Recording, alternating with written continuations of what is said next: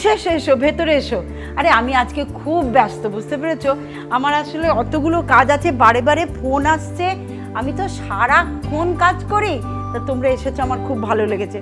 হ্যাঁ আসলে দাঁড়াও, এক সেকেন্ড, আমি একটু দেখে নিই। হ্যাঁ আসলে জানো তো, আজকে আমার মেয়ে আসছে, মেয়ে জামাই ব্যাঙ্গালোর থেকে আসছে। তাই জন্য আমি একটু ব্যস্ত আছি। সেই ব্যস্ততার মধ্যেই আমি তোমাদের সঙ্গে কথা বলব। দাঁড়াও, আমার আমার এই এনার্জি ড্রিঙ্কটা আমি আগে খেয়ে নিই। লোকে দেখে ভাবে আমি বিয়ার খাচ্ছি, তা কিন্তু নয়। এটা আমার এনার্জি ড্রিঙ্ক হার্বাল লাইফের এনার্জি ড্রিঙ্ক আমি সারা দিন চলতে থাকি, কখনো নাচের ক্লাস করছি, কখনো ওপরে ছুটে এসে দেখছি, গাড়ি ধোয়ার ছেলেরা আসছে, এইসব করছি। এই যা। আমি তো আসল কথাটাই বলতে ভুলে গেছি। আমি কে সেটাই তো বলিনি। আমি সোনালি। এইটাই আমার বাসা বাসস্থান মানে আমার থাকার জায়গা। এখানেই আমি কখনো নাচ করছি, কখনো গান করছি, কখনো কবিতা লিখছি, কখনো রান্না করছি।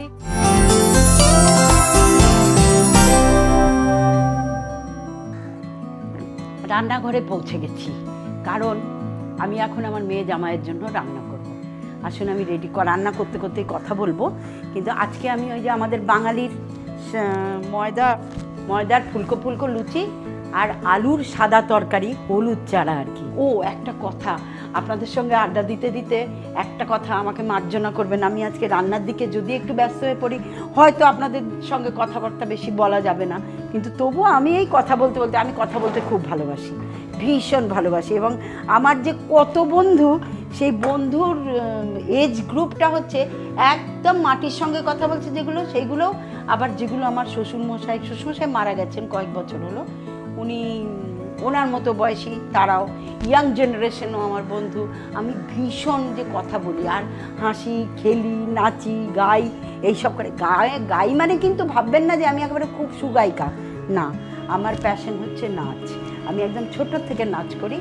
নাচটাই তার গুনগুনগুন করে বাথরুম সিঙ্গার তো আমরা সবাই। ওই রকমই একটা কিছু, তবে একটু সাবধানে করি যে যদি কেউ যদি ভাবে যে, বাবার, এটা কী গান গাইছে? সেটাই হয়তো বুঝতে পারল না। এরকমও হতে পারে।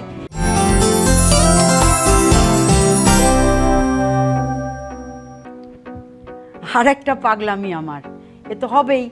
এরকম একটা দাবদাহে মানুষ সারা পৃথিবীটা জ্বলছে পারলে পারলে আমরা মানে ইগলুর মধ্যে ঢুকে যাই। তা সেখানে আপনারা দেখছেন আমাকে। উল আর কাঁটা নিয়ে, যেটা একেবারে অস্বাভাবিক ব্যাপার। ভাববেন না, অস্বাভাবিক ব্যাপার। আসলে বলুন তো কি, এইটা আমার আর একটা বিরাট প্যাশান আমার ফ্যামিলিতে, শ্বশুরবাড়ির দিকে, বাপের বাড়ির দিকে এমন কেউ নেই, আত্মীয় স্বজন যাদের আমি সোয়েটার বুনে দিই, আমি ভালোবাসি। সোয়েটার এইটা স্পেশালি আমার বড় জামাই জয়প্রকাশ, যে তামিল ছেলে, সে ছ ফিট লম্বা। সুতরাং তার সোয়েটার আমি যে শীতকালে দেব, সেটা শেষ করতে পারব না বলে এখন থেকে আমার মা বাবা দুজনেই চাকরি করতেন আর আমি এক ভাই, এক বোন। আমার ভাই ছোট, ব্যাস, মা যেই বেরিয়ে যেত, যেদিন আমরা বাড়িতে থাকতাম, দুপুরবেলা দুর্গাপুরের গরমে বেরিয়ে কুকুরের পেছনে ছুটছি, বাছুরকে নিয়ে এসে তার উপরে দাঁড়িয়ে পড়ছি, এইসব করেছি, মারও খেয়েছি, মার ধর খেয়ে গাছে উঠেছি, আম পেরেছি তেঁতুল পেরেছি কিচ্ছু বাদ দিইনি, এইসব সব করে গেছি, সাইকেল চালিয়েছি, আর আমাদের একটা অসম্ভব বন্ধুদের গ্রুপ ছিল। বিকেল হওয়া মানেই হচ্ছে বাইরে বেরোনো খেলা। সেইটা আটকে দিলেই মনে হতো যেন আমি বিরাট শাস্তি পেয়ে গেছি।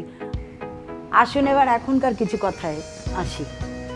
আমি তো নাচ করাচ্ছি ছোট, বড় সবাইকে ইভেন বয়স্ক মহিলারাও আমার কাছে আসেন। তারা কিন্তু শো করার জন্য না। আমরা আর এখন বিরাট শো করে নিজেদের প্রমাণ করার মতো জায়গায় নেই। ফিজিক্যাল ফিটনেস আর নিজের মনের ভেতরটা ভালো রাখার জন্য বডি মুভমেন্ট করে ছোট ছোট নাচ আমি বয়স্কদেরও করাই, যারা চান আর ছোট্টগুলো যারা আসে তারা হচ্ছে পড়াশোনার জায়গায় গিয়ে মুখস্থ করো। নাচের সব জায়গায় যে খেলার জায়গায় গিয়ে এইটা, এই খেলাটা এরমভাবেই করতে হবে। সাঁতার শিখতে গিয়ে এইভাবেই শিখতে হবে, জল খেতে হবে। তাই ওদের না আমি জোর করি না।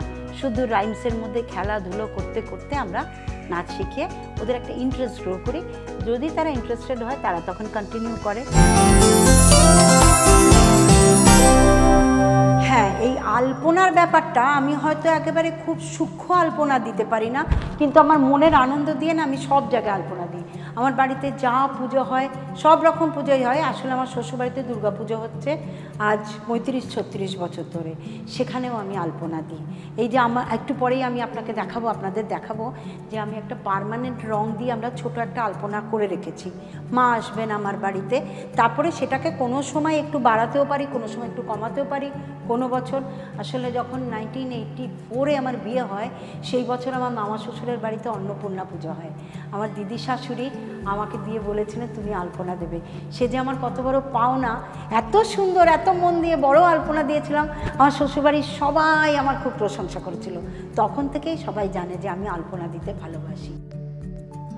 দেখুন তো, কালকে কথা বলতে বলতে আপনাদের সঙ্গে আমাকে দৌড়ে নেমে চলে আসতে হলো, কারণ আমার মেয়ে জামাই এসে গেছে ল্যান্ড করে গেছে। ওদের জন্য তো আমাকে রেডি করতে হবে বলে আমি দৌড়ে এসেছিলাম, আলপনা দিয়ে রেডি করব বলে।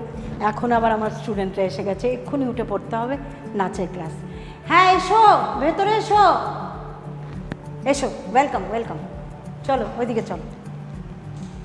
চলো, তোমাদের জায়গায় তোমরা চলে যাও। চলুন, এবার আমি আমার নাচের ক্লাসের দিকে যাই। বাচ্চাদের সঙ্গে একটুখানি কথা বলি, তারপরে না হয় নাচ শুরু করব। আসুন।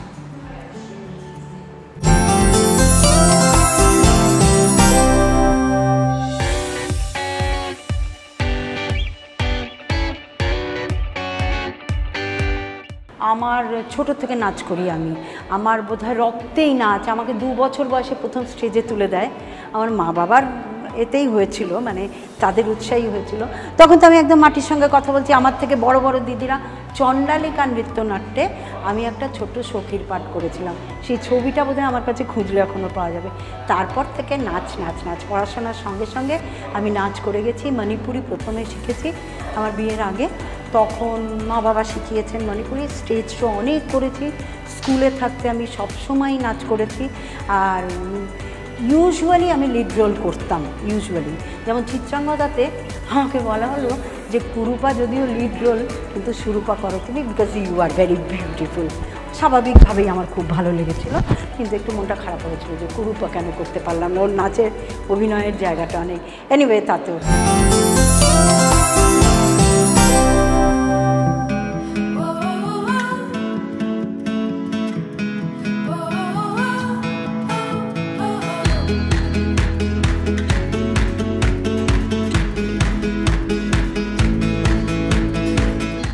কেমন আছেন? নিশ্চয়ই ভালো। আমাদের তো আগেও দেখা হয়েছিল, আজকে আবার দেখা হলো। আমার আসলে না পাড়ার যে একটা গ্যাং তৈরি করেছি, আমরা মহিলাদের সবাইকে নিয়ে করেছিলাম আমি তৈরি। অনেকজন এসছিল। আসলে সবারই তো এই দুপুরবেলার দিকে কাজ থাকে বাড়ির। কেউ কেউ আবার ওয়ার্কিং আছে। তারা এলো, দেখা করল, চলে গেল। আমাদের আজকে একটা জমায়েত ছিল। কারণ আগামী আমাদের কি কার্যবিধি সেটা নিয়ে আমরা কথাবার্তা বলছিলাম। করি এরকম অনেক কিছু। প্রাণের আনন্দে আমরা তৈরি করেছিলাম এই গ্যাংটা। হো- হতা আমি আমি করে সেটার নাম দিয়েছিলাম গোলাপি গ্যাং। গোলাপি বলতে আমি প্রাণের যে উচ্ছ্বাস সেই আনন্দের উচ্ছ্বাসটার ওই গোলাপি রংটাকে আমরা ধরেছিলাম। ওই সিনেমাটার নামে কিন্তু আমাদের নাম নয়। আর আমরা খুব আনন্দ করি সবাই মিলে। অনেকগুলো কাজ করেছি। যেমন আমরা আমফানের রিলিফ পাঠিয়েছিলাম।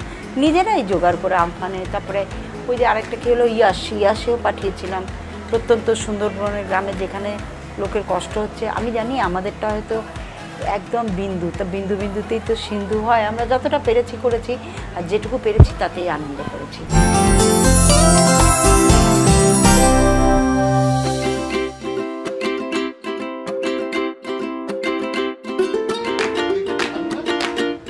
জানি না তখন তো এসব নতুন মাছ বাজারে ওঠেনি। মৌ আহ, অন্যান আমরা যদি একটু থেমে নিই কাজ করে নিই। হ্যাঁ এই নাটকের ইচ্ছেটা, অভিনয়ের ইচ্ছেটা আমার ছোটোবেলা থেকে। আসলে আমি ছোটোবেলায় নাচ করতাম, একদম জ্ঞান হওয়ার পর থেকেই বোধহয় নাচ করতাম।